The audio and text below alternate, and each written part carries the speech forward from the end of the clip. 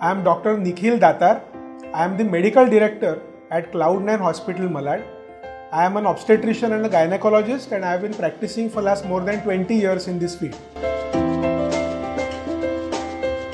Many a times a woman really lands up into a very tricky situation that on one hand she does not want to continue the pregnancy but she finds herself to be pregnant.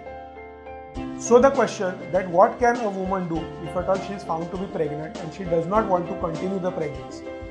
Well, I must say that we are very fortunate that in our country, that is India, termination of pregnancy, that is abortion, is perfectly legal.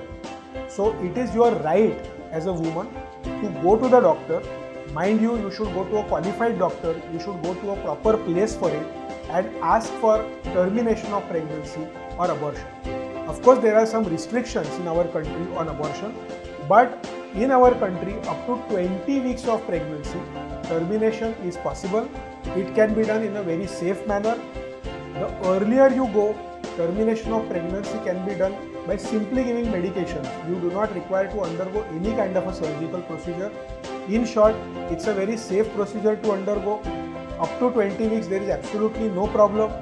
If at all there are any reasons provided they are fitting into the law, one can ask for termination and one can definitely get rid of an unwanted pregnancy.